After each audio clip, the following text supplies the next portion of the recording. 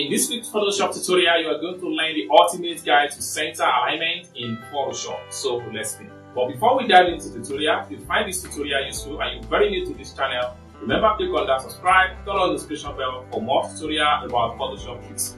So with that being said, let's get started. Welcome back to this video. So let's see how to master alignment in Photoshop. Okay, so let's dive in. So as you can see from the screen right here, take a look at this picture right here. You'll notice that this picture here is not properly aligned. Um, if you really want to align this picture, there are things we need to consider in Photoshop, which I'm going to show you.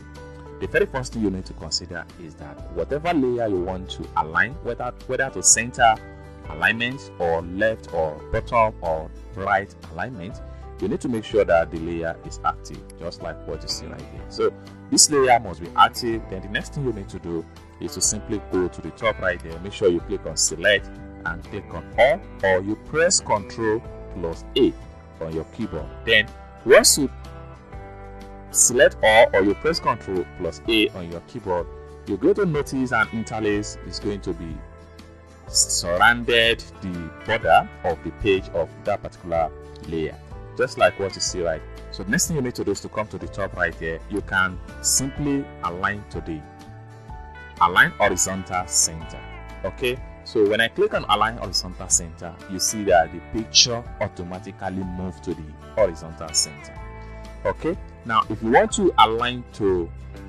left edge simply go to align left edge. It automatically moves the image to left edge okay if you want to align right edge move to align right edge click on that then automatically move to align right edge. If you want to go back to your center alignment so click on center alignment. It's as simple as that. If you want to align to the top center click on this particular one right here which means that whatever position the image is is going to be at the top so align to the top, it take it to the top center. Okay. Then you want to align it vertical center. It go back to the previous position. If you want to align it to the bottom center, you have to navigate to bottom edge. It's as simple as that. Now from bottom edge right here, we can decide to align to the left edge. So we have to go back here. If we want to align to the left edge, click on here. It take the picture down below to the left edge. If we want to align to the right edge, we have to come here to the right edge. It's as simple as that. If you want to align to the top left edge, or uh, if you want to align to the top left edge, then you have to come here, top left edge.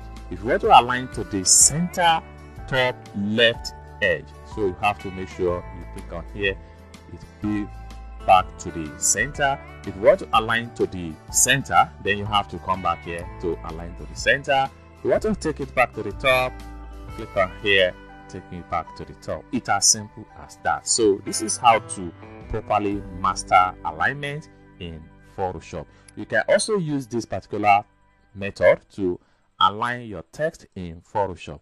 So once you are able to align your text or your picture to any area you want it to be, next thing you need to do is to simply go back to select then make sure you click on deselect or you press ctrl plus d on your keyboard the interlace is going to move. It's as simple as that. So this is basically how to master alignment or how to align anything in photoshop to center or left edge or bottom edge or the right edge as the case may be I hope you really got value for this video. If you find this video useful, give this video a big like and also remember to subscribe to the channel for more tutorial about Photoshop tricks.